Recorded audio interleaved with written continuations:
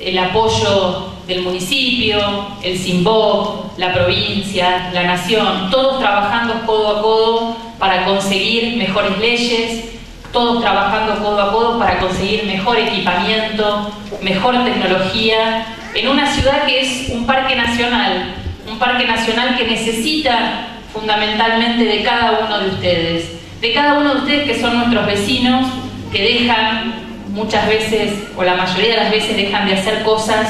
de sus vidas personales para hacer por otro. Por otro que no conocen, por otro que no le conocen la cara, no saben de dónde viene, quién es, y sin embargo ahí están ustedes, como siempre digo, cuando uno está descansando, ustedes nos están cuidando y nos sentimos seguros porque ustedes nos están cuidando. Y también quiero felicitar, porque en esos pequeños que veo, ustedes le transmiten, como he visto muchos bomberos de nuestra ciudad, cómo le transmiten ese amor a sus hijos.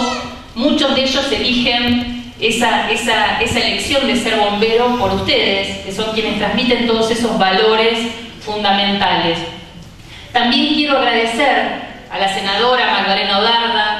senador Miguel Ángel Pichetto, a la senadora Silvina García Larraburu, porque son ellos, nuestros representantes, quienes trabajan codo a codo para lograr esta ley tan importante de RT para los bomberos. Todos queremos la RT para los bomberos y sabemos que esta ley, sin duda, como dijo Viviana este, este, año, en esta Argentina que ha conseguido tantos derechos, estoy convencida que este año, al esfuerzo y al trabajo de cada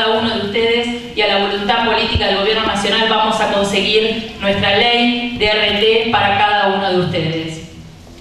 Quiero además, quiero además decirles que en estos dos años, 2013-2014, se han invertido más de 5 millones de pesos del SIMBOB. 5 millones de pesos que es el aporte de cada uno de los vecinos de San Carlos de Bariloche. Muy bien administrados, muy bien elegidos, con un trabajo muy consciente y transparente de toda la gente que trabaja en el SIMBOB para lograr, como hemos logrado, eh, unidades cero kilómetros, eh, tubos de oxígenos, distinto equipamiento y tecnología para que ustedes trabajen mejor.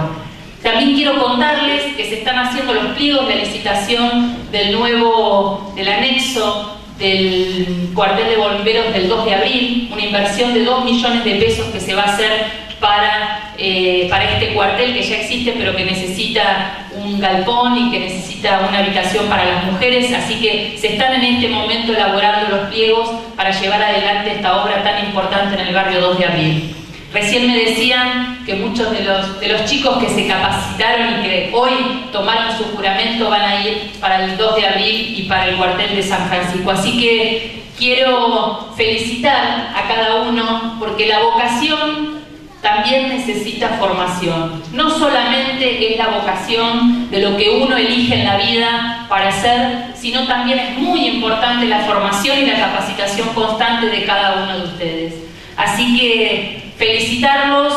es, realmente tengo, soy muy orgullosa de cada uno de ustedes porque ustedes sin duda son un valor muy importante de San Carlos de Bariloche, así que dejarles mi, mi, afecto y mi cariño porque sepan que cada uno de ustedes hay una partecita de nuestra ciudad que es muy grande, que trabaja todos los días para mejorar y que ustedes sin duda la hacen mejor.